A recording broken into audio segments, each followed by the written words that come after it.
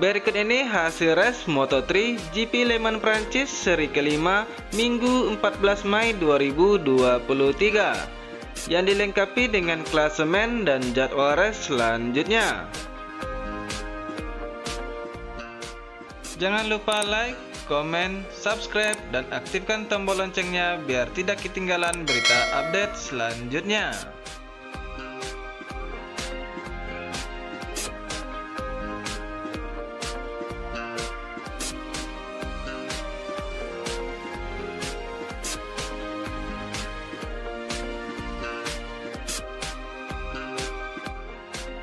Berikut ini hasil race Moto3 sirkuit Le Mans Grand Prix of Prancis.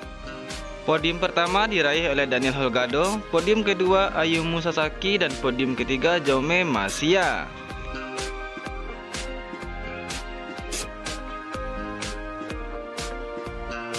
Sedangkan rider kebanggaan kita Super Mario Aji berhasil finish di urutan ke-21.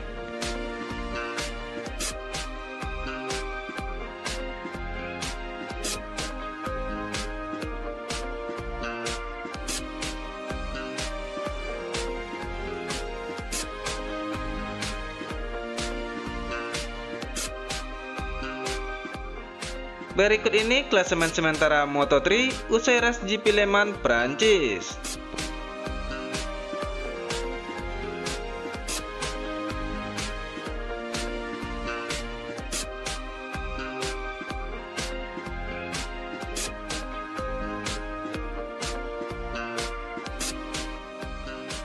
Untuk jadwal race selanjutnya GP Mugello Italia pada tanggal 11 Juni 2023 Moto3 akan tayang pukul 4 sore, Moto2 pukul 5 sore lewat 20 menit dan MotoGP pukul 7 malam waktu Indonesia bagian barat.